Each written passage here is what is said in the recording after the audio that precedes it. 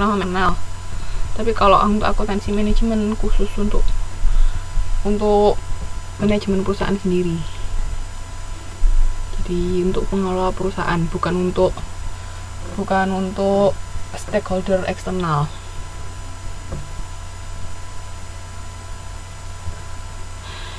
Ini yang lain sudah tinggal yang pakai nama pengantar akuntansi ada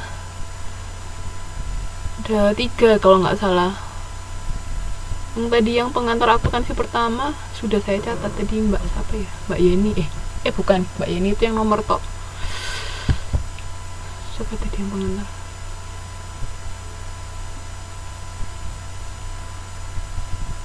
Oh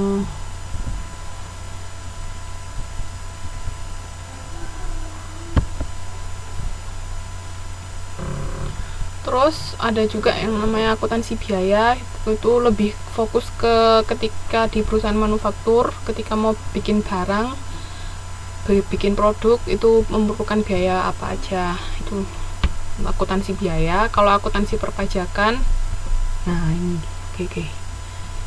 Mbak Nurul Komaria yang belum kecatat. Ntar ya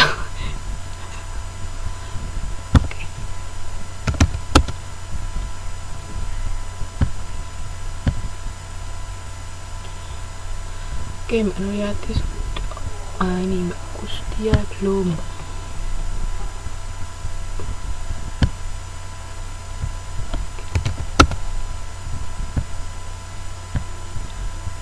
Umi ya Mbak Umi sudah. Sudah sudah yang yang cuman pakai pengantar akuntansi pengantar akuntansi aja yang belum. Oke oke saya lanjutkan ya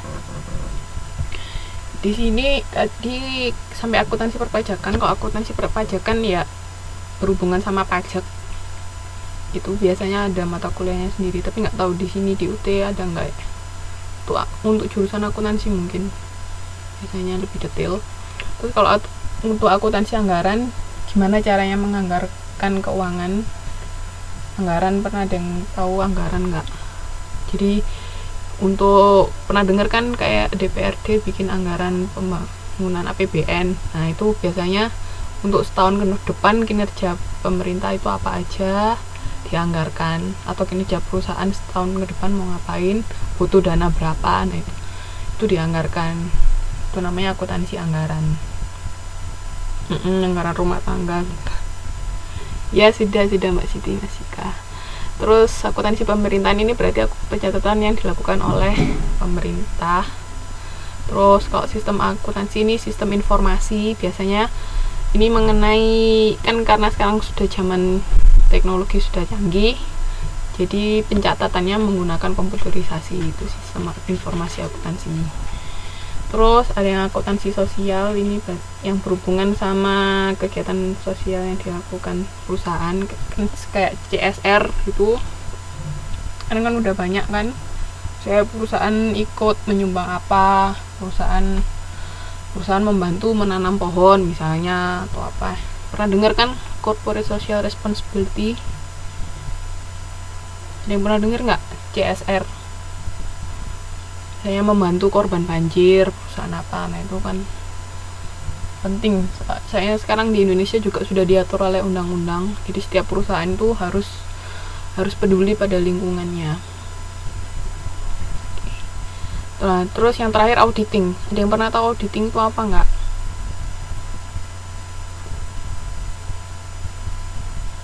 Adakah yang pernah tahu auditing itu apa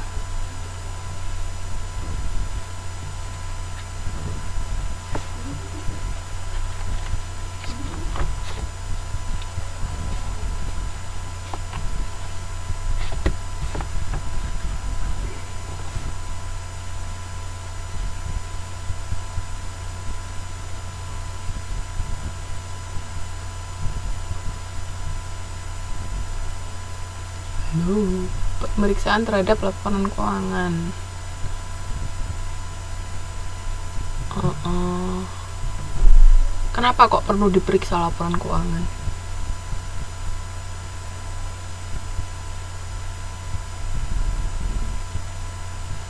Siapa yang meriksa laporan keuangan?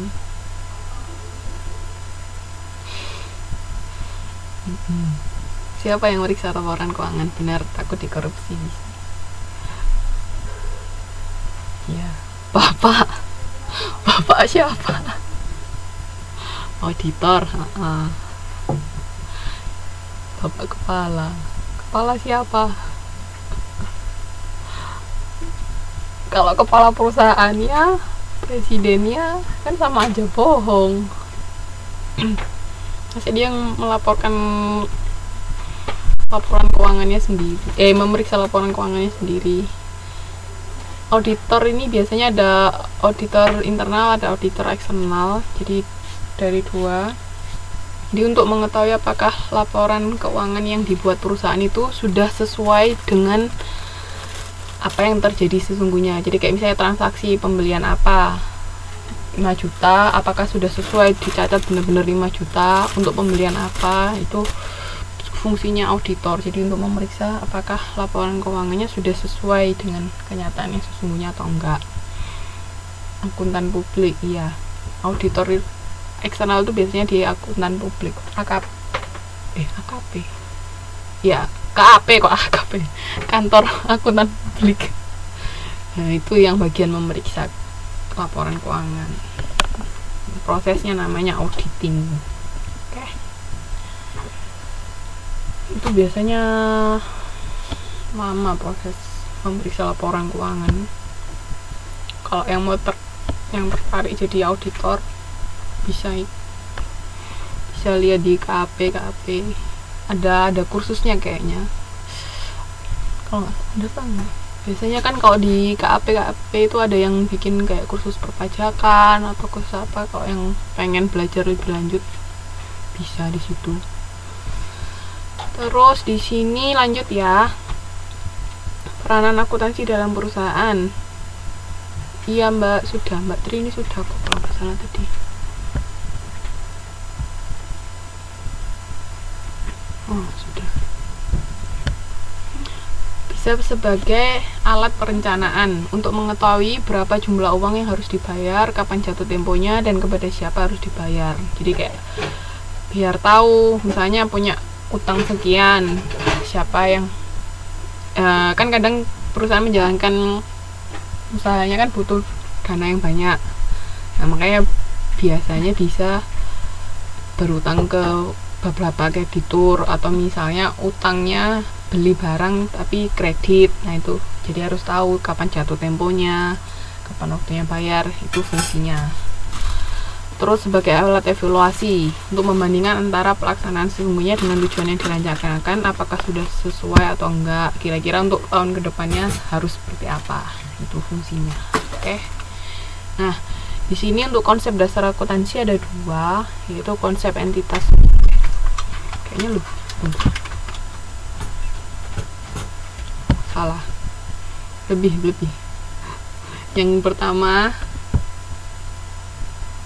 tunggu di sini yang pertama konsep entitas usaha jadi aktivitas bisnis dicatat terpisah dari aktivitas pemilik kira-kira kenapa kok harus seperti itu Kenapa kok aktivitas bisnis dicatat terpisah dari aktivitas pemilik? Itu namanya konsep entitas usaha atau bisnis entity kok. Kenapa? Ada yang tahu?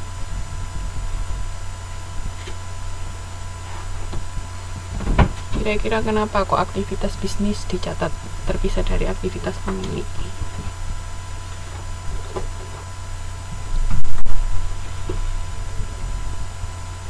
yang nggak pernah jawab jawab ya. Kembah Google. Nggak boleh kembah Google. Dilarang kelas. Kembah Google di saat kelas. Nanti aja kok sudah selesai. Di sini diskusi sesuai yang dipahami dulu aja nggak apa-apa.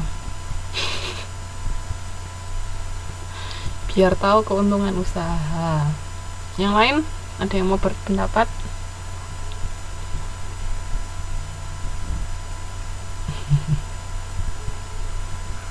Yuk ayo. Menjadi pembanding-pembanding. Apa yang dibandingkan